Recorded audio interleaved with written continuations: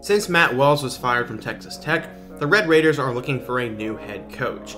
If you paid attention to the rumors and everything going around on social media, it looks like it's going to come down to SMU head coach Sonny Dykes and UTSA head coach Jeff Traylor. Both are very good and intriguing options, but the one who seems to have the most potential with the team is Jeff Traylor.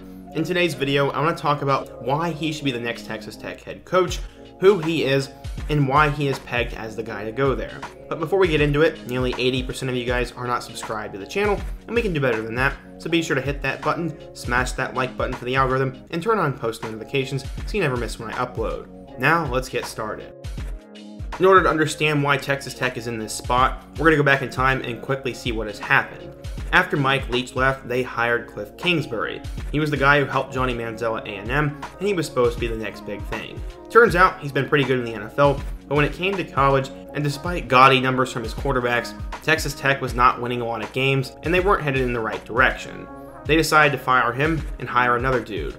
His name was Matt Wells. He was a two-time coach of the year in the Mountain West at Utah State, and he recently developed Jordan Love. Texas Tech thought he'd be a good guy to build the program, but in three years, Wells didn't really get the job done. In his first season, they lost to Kansas and missed a bowl game. In year two, they blew a ton of leads. And in year three, the team has just looked outmatched, especially against Texas, as they got murdered. Tech wanted an excuse to fire him because they had two great coaches in the area they wanted to hire. Sonny Dykes and Jeff Traylor are the two options, but let's talk about Traylor. He played at Stephen F. Austin and immediately went into coaching. He became one of the top high school coaches in the country in Texas and had become a legend in the area. He eventually took a job with Texas as the tight ends coach, where he became the Big 12 Recruiter of the Year. He then went over to SMU at Chad Morris, and after only one season there, they went over to Arkansas. He coached the running backs and helped recruit for him, and because of his ties to Texas and his ability to recruit, UTSA decided to hire him as their next head coach.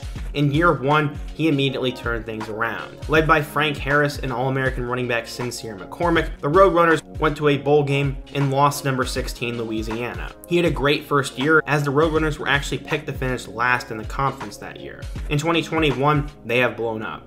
They are 8 0 at the moment, Sincere McCormick's one of the top running backs in the country, and they have wins over Memphis and Illinois. While they aren't the biggest wins in the world, Memphis is one of the top Group of 5 programs, and Illinois is a Power 5 school, and both wins came on the road. They're now ranked 8 0, and they could legitimately go undefeated this year.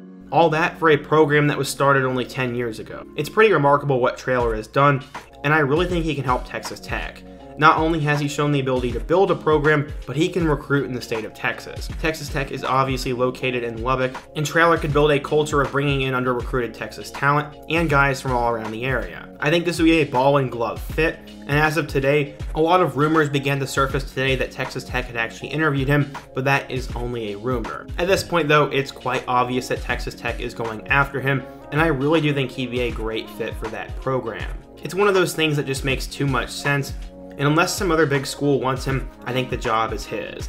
The sad part about this, though, is for the UTSA players, the season now isn't as fun. They should be able to enjoy all this without having to worry about their coach leaving, and we have not even hit November yet, or the best part of their season. I really hope Traylor finishes out the year at UTSA, the Roadrunners continue to win, and this becomes one of the best feel-good stories in the sport. From there, I'd love Traylor to get hired at Texas Tech and turn that program back around. What do you guys think though? What do you think of UTSA football? Who do you think Texas Tech will hire? And what topic should I do next? Be sure to let me know down in the comment section. Smash that like button if you want to support today's video. And check out all my other videos on the end screen. I hope to see you guys again soon. But until next time, peace.